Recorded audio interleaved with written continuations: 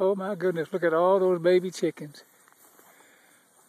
Adorable little baby chickens. Baby chicks.